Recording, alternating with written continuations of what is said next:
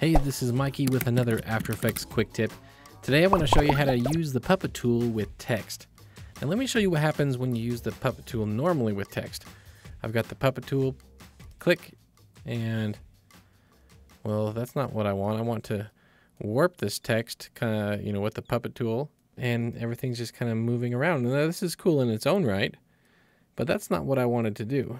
See, if I turn on the mesh, you can see that it's just selecting just the layer, just the, the letter itself, because this is a vector object. But I want to select the whole thing as a whole. So let's go in, take that puppet tool off,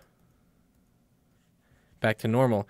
And if I want to select it and bend it as I would a normal layer, what you do is just take a mask, mask around it, and then when you use the puppet tool, your first pin needs to not be on a letter. So just go right off to the side and now I can move the whole thing as if it was a single layer and I don't have to pre-compose it first.